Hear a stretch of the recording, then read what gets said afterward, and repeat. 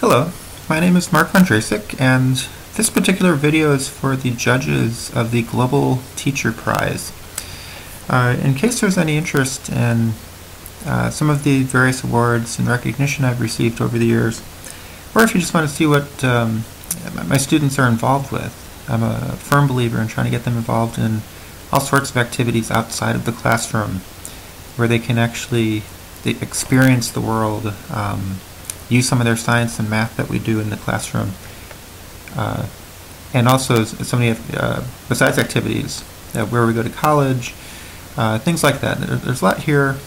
Um, this particular site is, is one of the pages on my blog that I use for the class for the past six or seven years.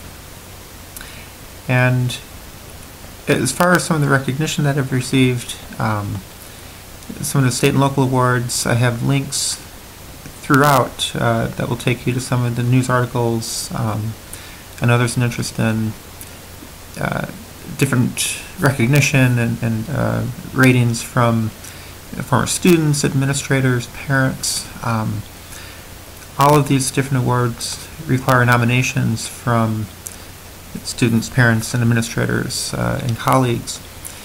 And so over the years I've been very, very lucky, very blessed to uh,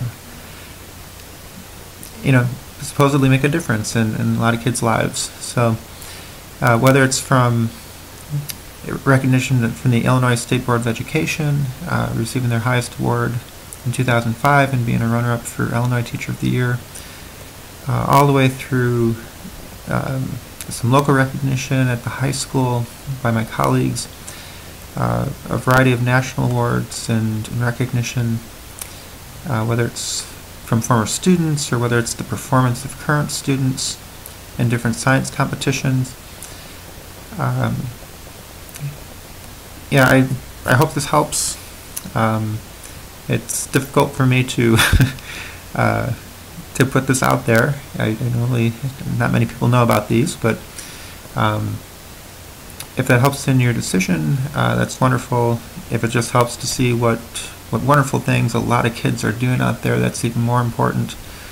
Um, so I hope you enjoy, and thank you very much for this opportunity.